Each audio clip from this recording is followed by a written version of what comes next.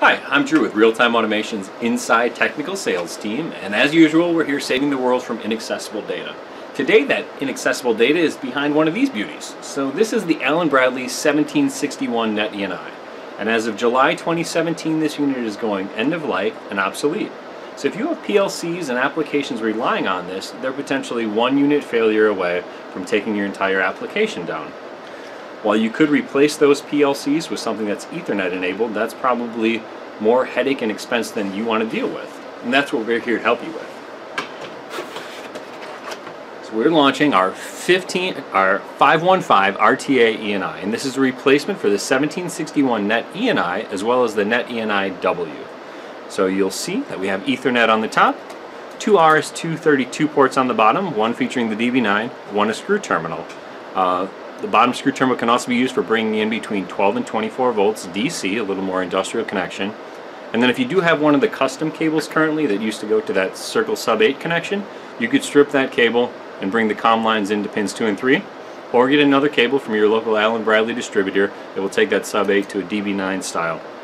As far as UL certification is concerned, this unit comes with the same hazardous location that the 1761 did.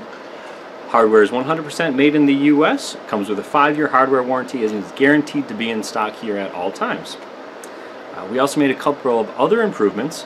Um, the total number of TCP IP connections you can now support is going to be 12 through this unit. And then probably the biggest benefit of all is that we did away with the programming software. While you could still use the programming software you used to with the old 1761s, that software will actually work with this unit. Uh, we think there's a much better solution. We made it all browser based. That way you don't have to worry about that software working with the next upgrade to Windows and you don't have to keep that one XP machine right in the corner of the factory. We, we've done away with all of that. If you have an internet browser you can get this set up and see all of the diagnostics. Let's actually take a look at that now. So what you see here on the home page is counters for anything going on in the gateway. Uh, on the Ethernet, serial, and message log, you're going to see the messages going to and from the gateway, and they'll be logged here. On the data view page, we can see how you do a simple edit. By clicking the pencil icon, you see that any editable field in that section will become editable. We make a change, hit save, hit OK, watch the save load, and then revert it back. That change has now taken effect. Network is network setting. Mapping, while not used in all application, is placed here. And then finally on the utility page, the two things that are probably most important here are first security. As this is all browser based now, you may want to lock those pages down so people that you may not want there don't get there.